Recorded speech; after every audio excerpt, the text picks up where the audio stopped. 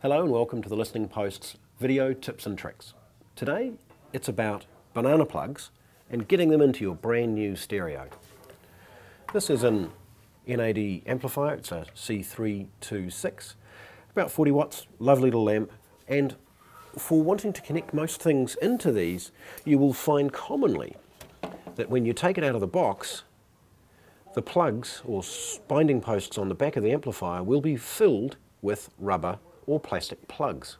Removing these tidily without damaging your equipment is often very, very difficult.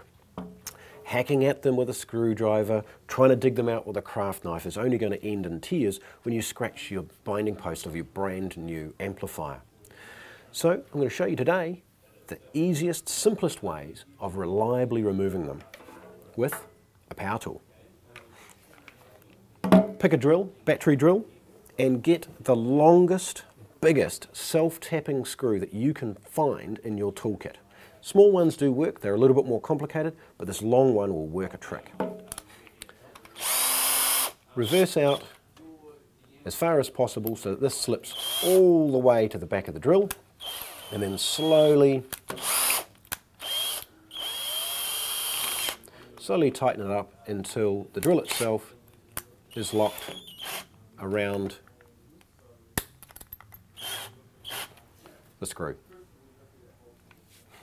Then, and I'll try and change the angle so that you can see this.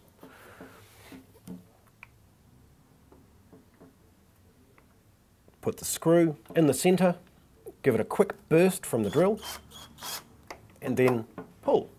And you will see you have effectively, cleanly and easily removed the plastic plug, ready for your banana plug. Let's do that again.